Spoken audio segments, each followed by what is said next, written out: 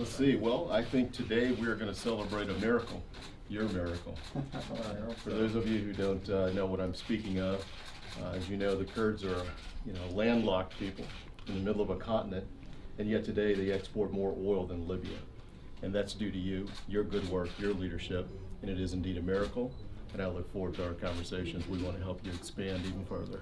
Thank you, Mr. Mr. Prime Minister, what do you want to say about this meeting?